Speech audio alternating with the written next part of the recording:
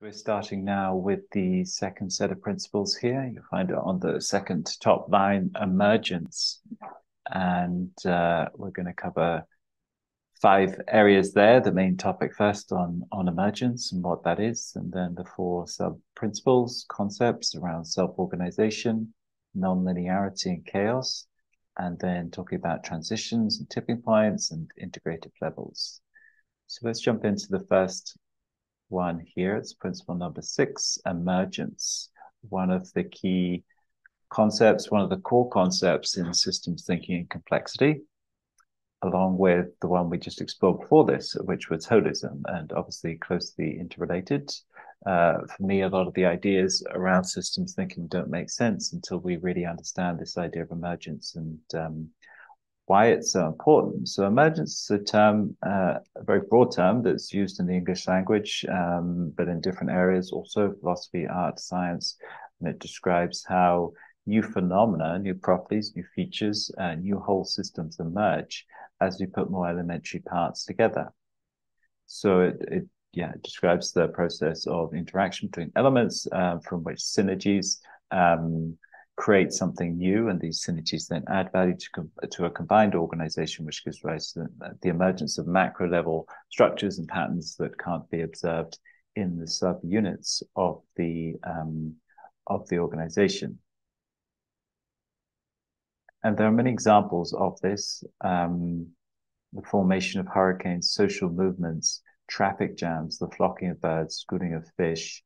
Um, and the combination of cells into into tissues and organs uh, that form biological creatures.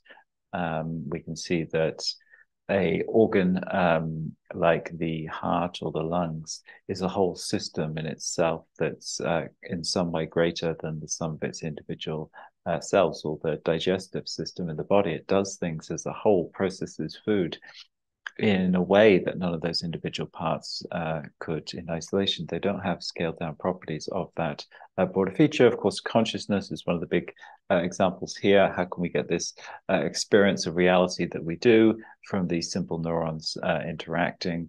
Uh, we call that emergence, the way those neurons fire and a whole network series or organization of them results in our perception of, of memories and consciousness and so forth. So that's the idea of emergence. It's really uh, contrasted to reductionism. It's all about what happens um, as things combine um, in synergistic ways. So it's kind of looking from the bottom up um, in, in terms of those individual uh, parts and how they interact give rise to new patterns of organization, contrast with reductionism, uh, that's breaking things down to understand those parts. And reductionism will never be able to help us understand emergent phenomena and we see that uh, quite a bit in our world. Um, things like in biology, biology is supposed to be the study of life, uh, but we seem to forget about that whole idea of life when we study biology. It needs to be this and this kind of exercise of breaking things down to understand their their their, their cells and their molecules and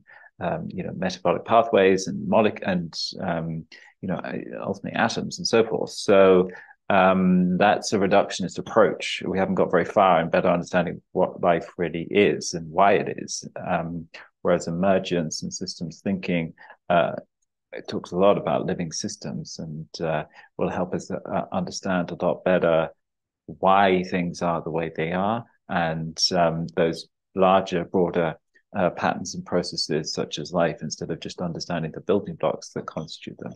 So that's the idea of emergence it's a very powerful uh, and important concept. Without it, without it, then the reductionist uh, paradigm would work just fine. If there was no emergence of, uh, if the whole was nothing but the sum of the parts, then reductionism would work fine. The idea that the whole is different in some way from sum of its parts requires us to look at the whole, and then we need then we need systems thinking and holistic thinking. Um, and that's why this is such a core concept, along with the idea of holism that we explored last time.